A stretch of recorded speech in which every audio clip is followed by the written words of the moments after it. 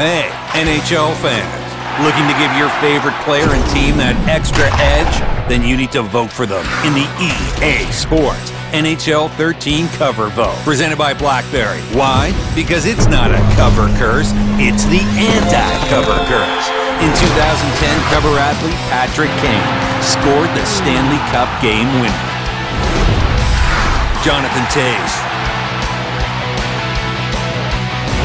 last year's cover athlete, Steven Stamkos.